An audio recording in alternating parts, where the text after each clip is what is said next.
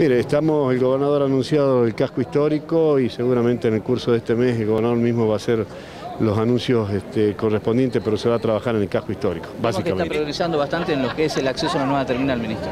Sí, estamos terminando ya, faltan un poco de los caminos, los accesos, pero ya estamos prácticamente terminados la terminal. Ministro, la UOCRA alertó que faltan obras públicas y hay mucha desocupación. ¿Hay alguna respuesta para eso? Estamos trabajando con ellos, estamos en contacto con la UOCRA, yo tuve una conversación Entiendo que el gobernador también la va a tener la semana que viene para explicarle cuál es la situación, pero en definitiva estamos haciendo grandes esfuerzos para tratar de, salvar ese bache que hoy nos encontramos. ¿Se nuevas obras antes del fin de año?